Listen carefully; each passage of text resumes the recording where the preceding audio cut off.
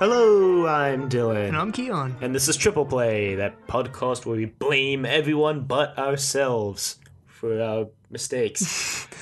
because this month, I suppose, or in the past month, we read Jurassic Park, the novel the, the movie was based on. Written by Michael Crichton. It was published in November of 1990, a full three years before the movie came out. Yeah, well, almost three years. Um, right, and not many people, I think, actually know that Jurassic Park was based on a book. Yeah, I mean, when I first heard that, I was like, wait, what? Jurassic Park was based on a book? I just someone saw me reading it this week and was like, "Wait, what? Jurassic Park is based on a book?" yeah, I yeah. um yeah, I mean, I think people most people think it's an original movie franchise and you know, the book isn't exactly as uh, well known as it should be because I think we both enjoyed it. Yeah. Well, I definitely thought it was better, you know, than the the adaptation. I think they're both good in their own right. I think in their own mediums, they're both really good. Right. Well, because I, I, feel like cross comparing mediums is not usually an apt comparison, but we'll talk about that in a bit. yeah, I mean, I, I think the way we're going to uh, do this, which, I mean, if you can't tell, we're deciding this now. We're going to talk about, I guess, the difference. We're not going to explain the entire plot of the book because it's pretty long yeah, and it's longer detailed. than the movie. yeah. Um, but we're just going to explain the differences between the movie and the book, and you know, mm-hmm. kind of go through the plot in that way. Yeah, I suppose. And uh, I guess then we're just going to end on you know what we thought of it, and maybe yeah. how it worked as an adaptation, or how the movie worked as an adaptation of this book. Yeah. Um, all of these point five episodes are going to be pretty experimental because they're all going to be covering vastly different topics. Yeah. So, so yeah, I, mean, I guess we can, we just jump into it. I suppose. Yeah, well, we'll start by saying we read the 25th anniversary edition, which obviously came out this year since it was pu- first published in 1990, and yeah, now it's 2015. But yeah, I mean, this 25th anniversary edition, you'd think it would have some extras or something, but no, it's just a no frills reprint of the book. I mean, the cover looks pretty cool.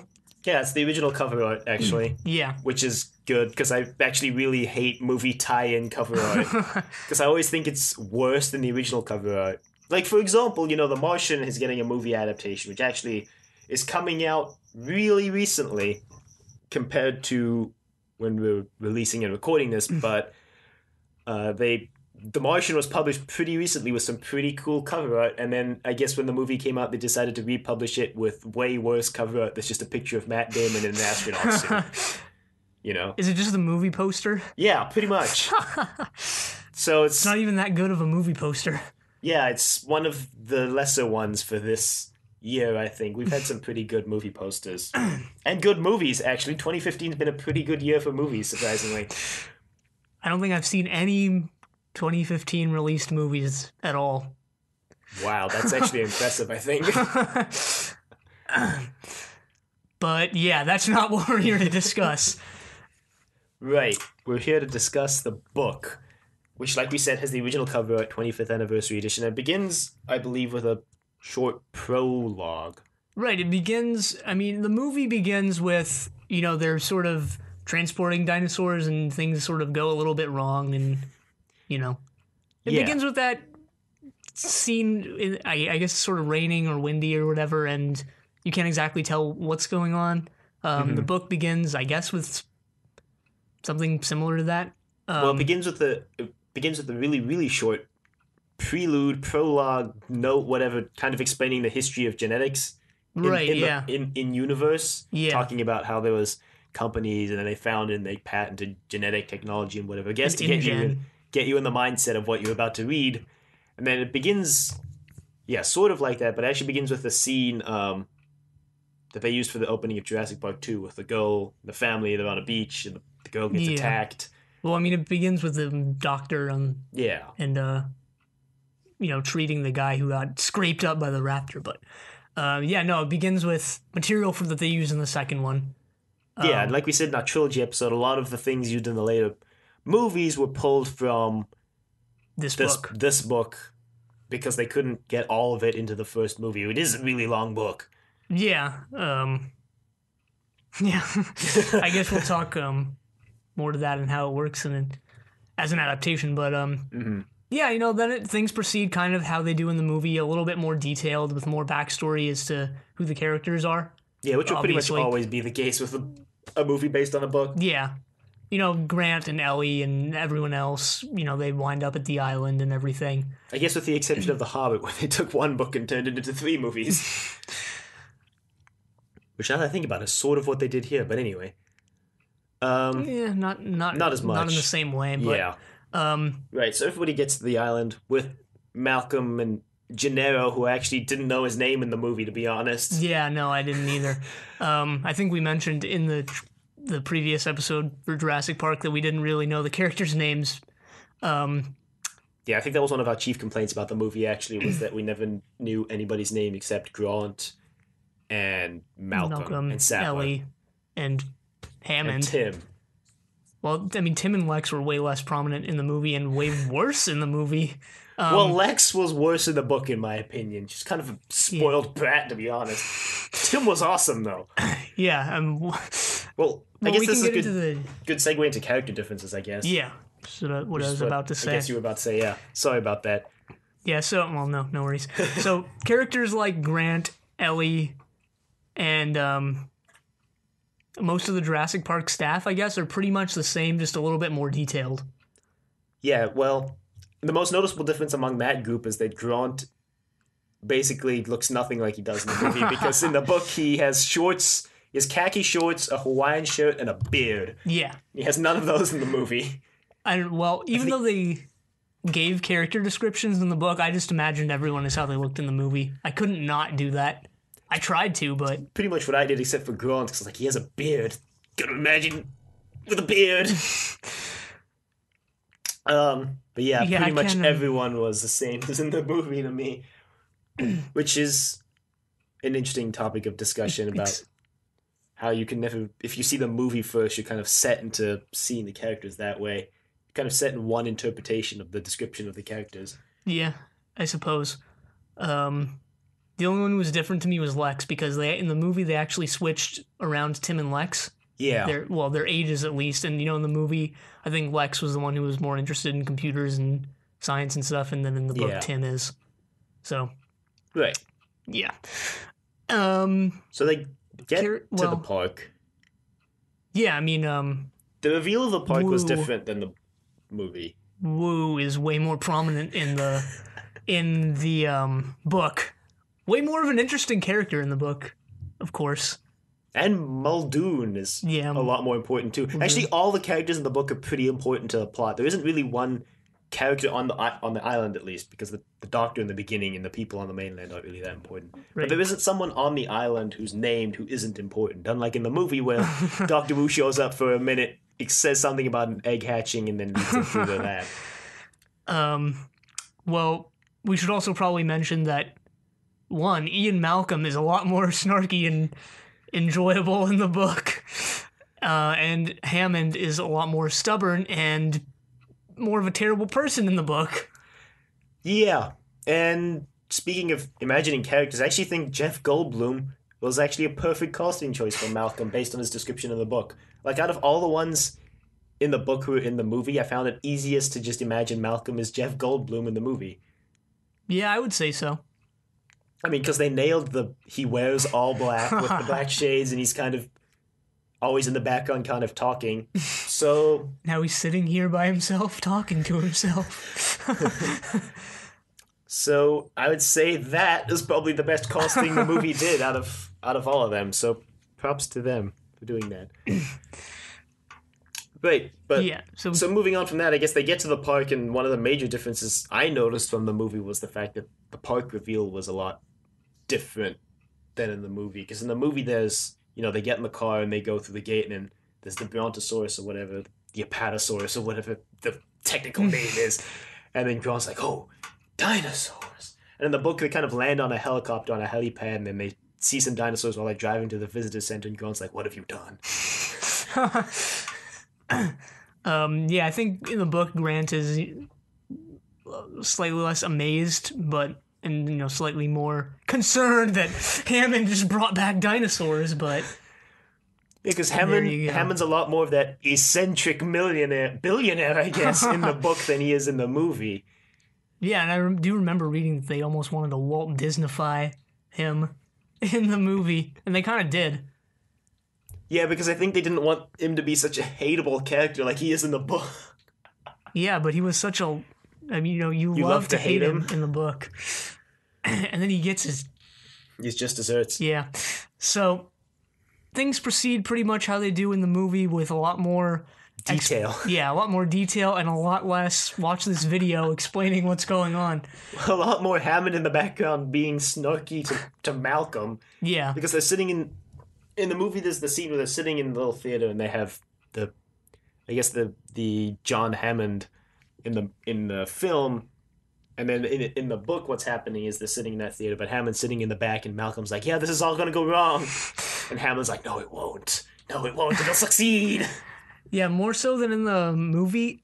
Uh, Malcolm just spends the entire book telling everyone, "I told you this was all just gonna fall apart," and it's some of the best parts of the book are him just telling everyone that, "Yeah, I told you guys this was gonna go all Yeah, well- terribly wrong." Well, like, it was super satisfying whenever he'd be like, "Yep, I predicted this." And Arnold would, Arnold, who also had a way bigger part in the book than he did in the movie, would be like, "No, you didn't. We've got the part completely under control." And then Malcolm would like, "Do you?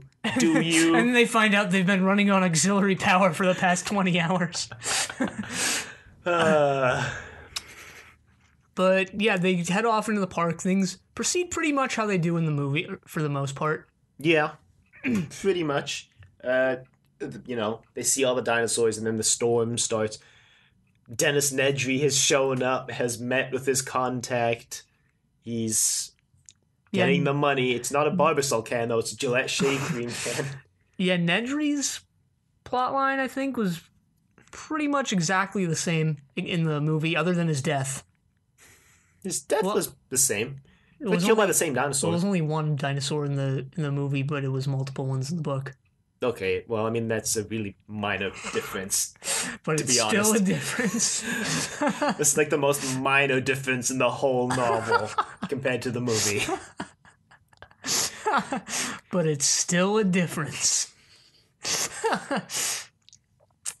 Anyway, so everything obviously goes wrong. I mean, you've seen the movie, you've heard us talk about the movie. Everything goes wrong. The power goes out. The T Rex busts out, knocks him around a bit. Like we met, uh, we didn't mention actually the scene where Hammond reveals that he's brought his grandkids to the island, and Gennaro's like, "What are you doing?"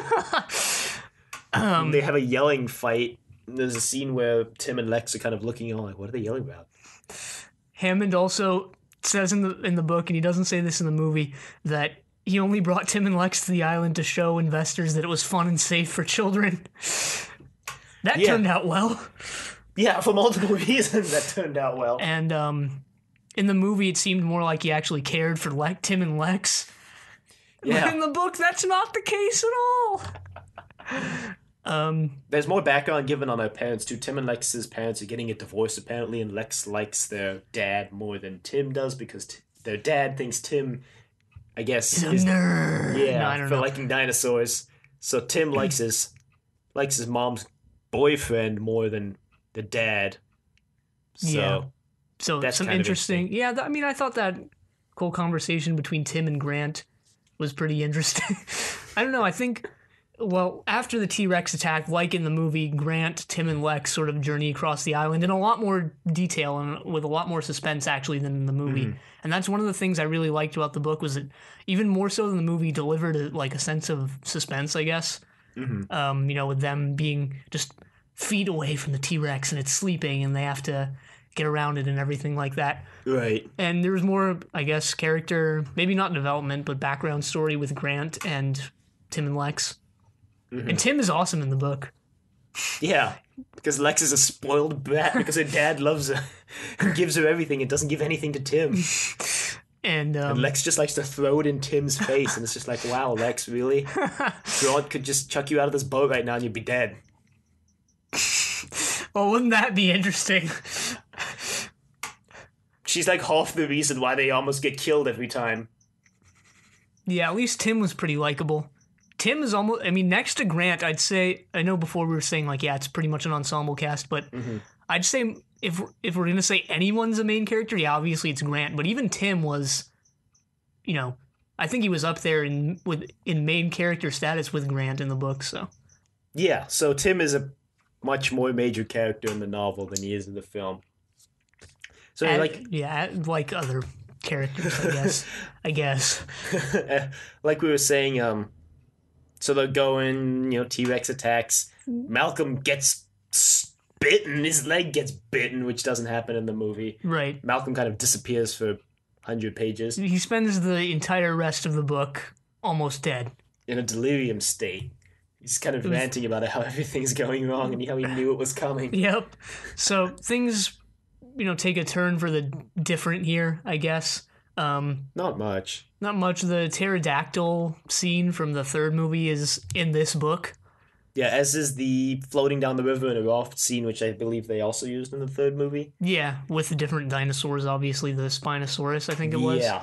um, which isn't in the book at all. The book also goes into a lot more detail about everything that goes wrong in the park and just all the terrible ideas that went into um, creating the park more so than the movie does.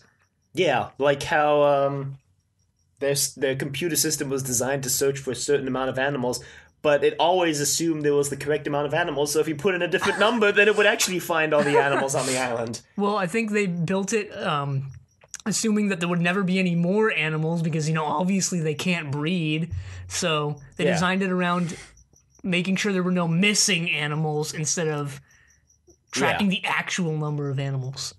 Yeah, so the computer system is a piece of junk designed by Nedry, I guess. Mentions is like a list of hundred bugs that Nedry needs to fix, and he's like, whatever. Well, I mean, he's about to get rich super quickly anyway, so he doesn't care. He pro- he also designed all the back doors that he uses to, uh, you know, shut everything down. Yeah, And- probably wasn't the best idea to trust one programmer with your entire park. you know, whether that be the movie or the book. Well, Arnold and Wu seem to know what they're doing, but then again, they didn't really design anything. So, Yeah, well, see, Arnold and Wu knew about the computers enough to be able to run it, but they couldn't program it, and that all goes to pot in a bit. But Muldoon also at one point started thinking ahead and put some, I guess, a giant tranquilizer needle launcher into the one Jeep that Nedry ends up stealing, and then when the T Rex gets out, Muldoon's like, "Good thing I planned ahead." Oh, bollocks! Where's the Jeep? right. And now, since you said that, it might be now might be an opportune time to mention that in the book, "Oh balls" is like Hammond's catchphrase. yeah. yeah, but at the same time, he's always like, he'll be fine. We're going to get it back under control. The park accounted for this. We all accounted for this. Mm-hmm. And then Malcolm's like, yeah, it doesn't matter if you accounted for it because my model accounted for the fact that you accounted for it and told you it was all going to go wrong. Yeah, pretty much. Except Hammond does so in a much less calm way. Pretty much just yells at everyone about how they're all ruining everything for the entire book. Yeah, and spends his last couple pages in the novel ranting about how it's everybody else's fault except his own. the park failed, and he would do it better next time. You wouldn't hire Arnold because Arnold was a hack. You wouldn't hire Wu because Wu was just a young student who didn't know anything. You wouldn't hire Malcolm because he just plotted to bring it down from the beginning, and Muldoon was a hack hunter. And Grant wasn't a real paleontologist or whatever. Yeah, so you know they get back to the compound like they do in the movie, and yeah, I don't know what you expected. in a lot more detail. I mean, ma- the main difference is just chalk up to the book being way more detailed Yeah. and better because of that, um, or more enjoyable in my opinion because of that. And it ends with It ends differently it ends movie. differently. It ends a lot differently, actually. Yeah, the movie pretty much as soon as they get back to the visitor center, they hop on a helicopter and leave. But in the novel, they get back to the visitor center and they spend a whole bunch of time putting the power back on. And when they get it back on, uh, Grant and Sattler like, we need to go count all the Velociraptor eggs we can find because that way we can account for all the dinosaurs in the island because some of them probably weren't picked up by the computer because there's dinosaurs on the mainland somehow. Yeah. Um, there was also, I think, the subplot in the book with the um, the ship getting to the mainland and it had dinosaurs on it, and they needed to stop it. And Yeah, they might have adapted that as the end of Jurassic Park 2. the Lost World, where the, Uh, yeah, the I mean, Velociraptors get back and then they rampage, or the T Rex gets back Yeah. and rampages through San Diego. maybe maybe that was an adaptation of this, uh, or maybe they got the idea from this. But yeah, they end the book in a lot, much smarter note. You know, they go and account for the Velociraptors, and then there's the interesting, um, you know, part of the book where. Right at the end, the Velociraptors want to migrate because you know dinosaurs evolved from birds, you know, according to what I we mean, know. birds but- evolved from dinosaurs. Yeah, the other way around. yeah, birds evolved from dinosaurs, so pretty interesting. You know, the velociraptors all head off to a corner of the island, and Grant's like, wow, they want to migrate. I thought that part was really cool. I liked that. Yeah, then Hammond wants to go for to his uh, bungalow, I guess, and the kids are messing around with the computer system and play a T Rex roar over the loudspeaker, and Hammond's like, "Oh shoot!" falls down a hill and breaks his ankle, and then ends up getting eaten by dinosaurs. Pretty much in the same way as Nedry. Yeah, different dinosaur though. Uh, pretty gruesome death, but he had it coming. Um, Ian Malcolm also dies, and is apparently revived in the second book. Maybe Somehow. they use their dinosaur cloning technologies to clone Malcolm. No, I'm pretty sure Michael Crichton just makes up some BS reason as to why he's back. Well, the only indication that Malcolm dies in the book is the fact that when Grant asks the only thing that's close to a vet on the island what happened to Malcolm, he just kind of shakes his head, implying that he's dead. Yeah, I'm pretty sure they were they um or Crichton's intention was that he was dead. pretty sure. And then when he turned out to be such a popular character and you know Crichton liked him, he decided to just bring him back. Yeah, well, The Lost World is the only sequel Crichton ever wrote. Yeah, the third one obviously isn't really based on a book, but takes some things from Scenes this. ripped from the other two books. Yeah,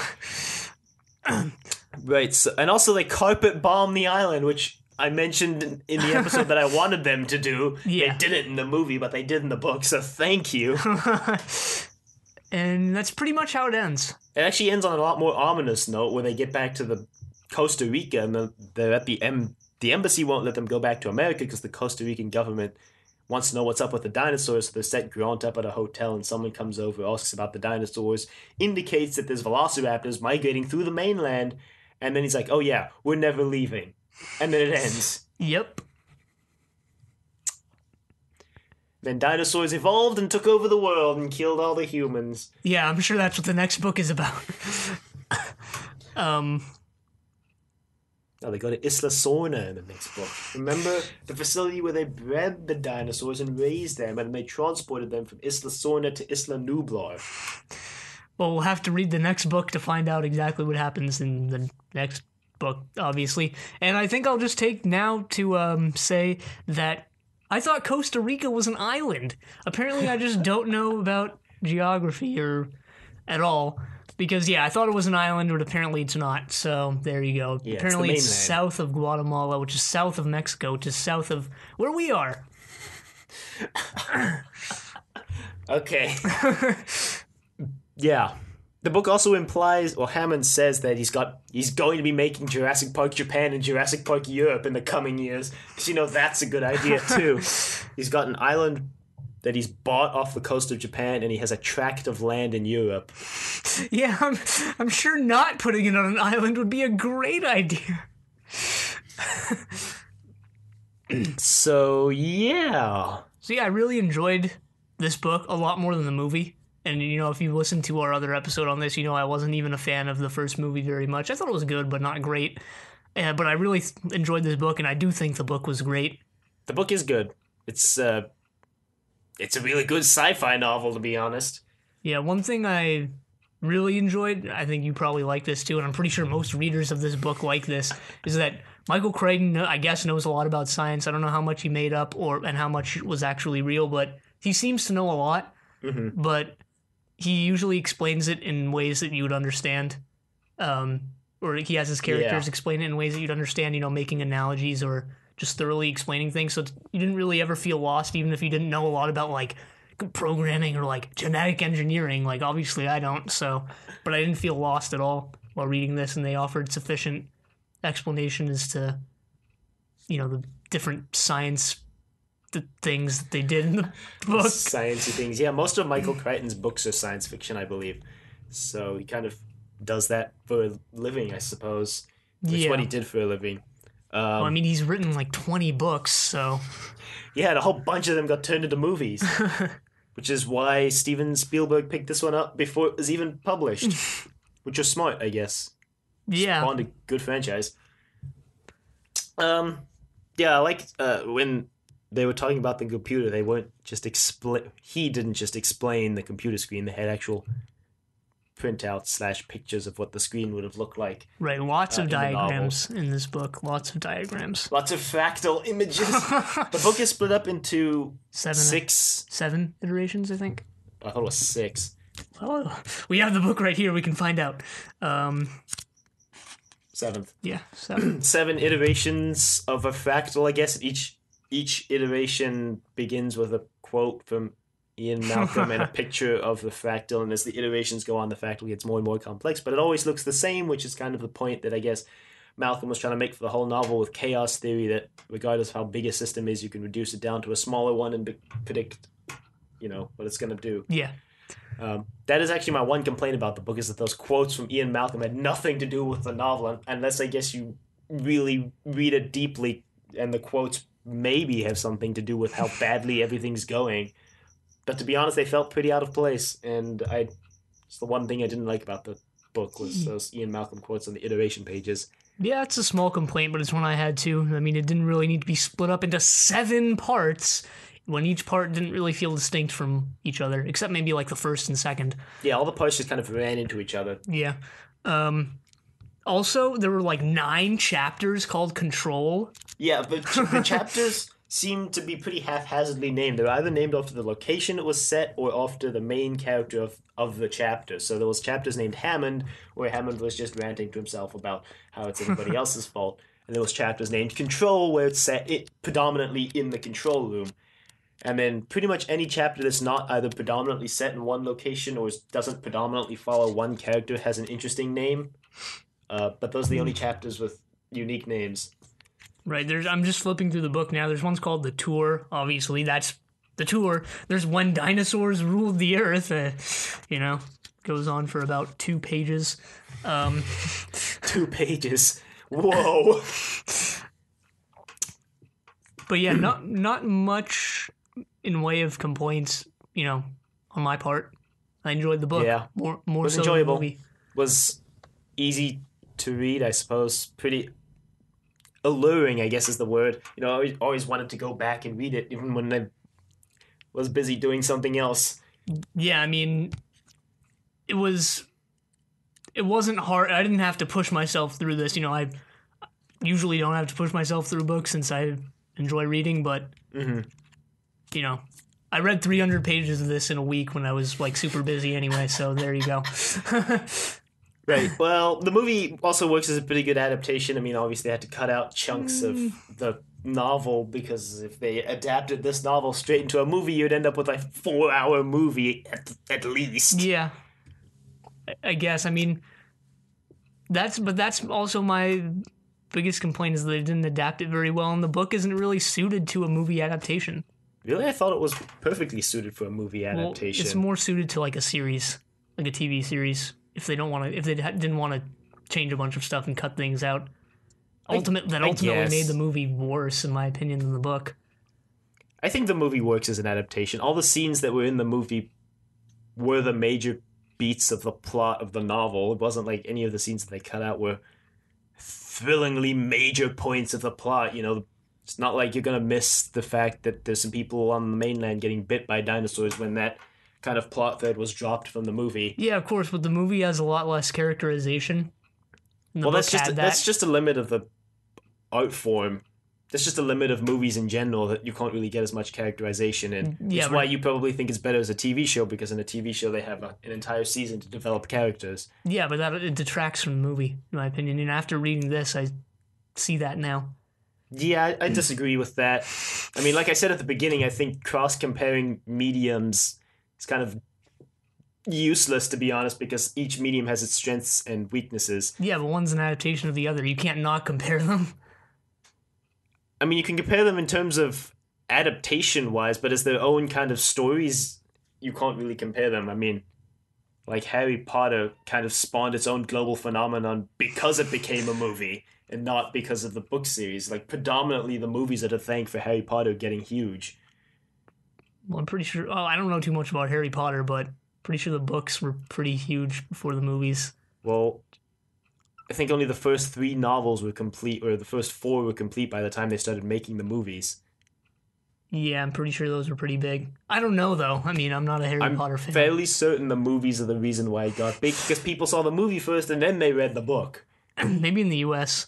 I don't know, but yeah, this is about Jurassic Park. So, um, yeah, I just I just think the book is a is, if you want to if you're deciding like oh should I watch the Jurassic Park movie or read the book and you for some reason can't do both even though the movie's only two hours then I'd say definitely go with the book.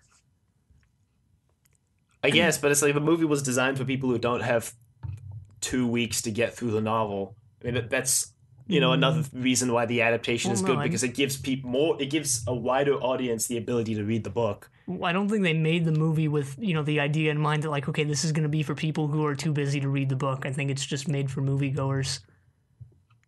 True, but that's a side effect of making the movie was the fact that it opened it up to a wider audience who couldn't or didn't have the time to read the book. You know, people working nine to five jobs every day won't have time to sit down and read a book. You know, for a four hundred and twenty page novel Yeah. for Or people or people who hate reading, which is pretty much everyone. or English language learners. People who, who English isn't their first language, it would be easier to watch the movie than it would be to read the book. yeah, well, you probably just watch the book or read the Watch movie. the book. Yeah, you probably just read the book or watch the movie in your native language if that was the case.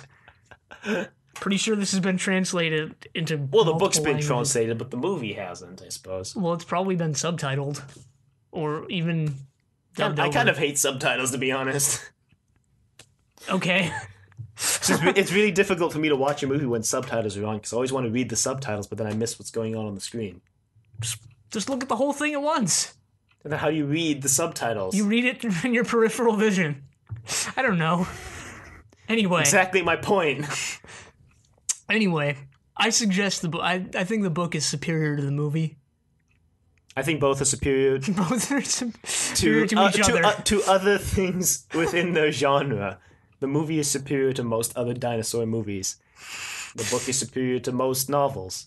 well, I mean, I wasn't a, exactly a huge fan of the first movie in the first place, so whatever.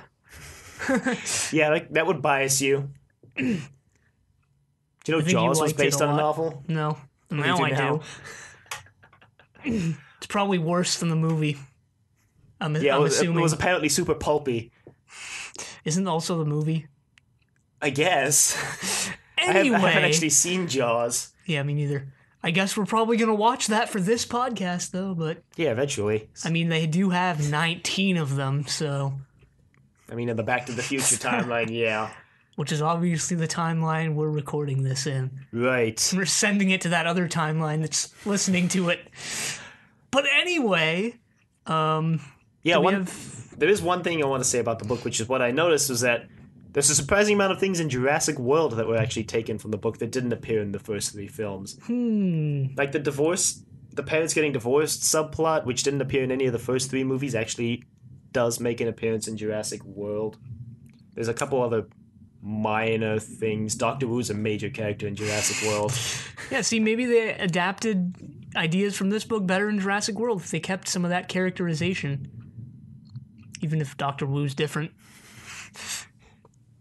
Yeah, the kids in Jurassic World weren't much likable, much more likable than Jurassic Park. So, I mean, I, when I came out of Jurassic World, I know I texted you like it has all the makings of a Jurassic Park film: unlikable characters, dumb decisions, and decrepit buildings. Well, at least all three of those were original ideas from the book. That's a bit of a misnomer. Original ideas from the book. What do you mean? They're not original to the movie anymore. Well, I mean, they were from the book- originally taken from the book. That's what I meant. Okay. You know, the unlikable characters, Yeah. terrible ideas, decrepit buildings are all from the book. So at least they adapted those three things well. well, I guess that's all we have to say on this book, Right. Um, this novel. pick it up if you want. Pretty good read. uh, ten bucks ish for the new reprint that came out this year. Worth it, I would say. You probably get it used or on sale for cheaper than that. So most books are worth it at ten bucks. it's ten bucks a pretty good price actually. Uh, so email us at the doctordick questions, comments, concerns, angry rants, love letters, questions about Jurassic Park and or fan fiction, which I imagine does exist probably. Uh, check us out on YouTube at Triple Play. Check us out uh, on iTunes at Triple Play. Leave a rating if you like the show. Find the feed on the website for Triple Play. If your buddies are on an Android. They're like, I don't have iTunes. You'd be like, BAM! Here's a feed that you can use. yeah. Check us out on Facebook at uh, facebook.com slash 3P podcast. You know, follow us on Facebook. Check us out on Twitter, 3P podcast, and uh, follow us on Twitter also. And um, yeah, we'll have a new episode out a in month a month. now. Yeah. On a on, a, on, a, on another trilogy. but yeah, until then, the end.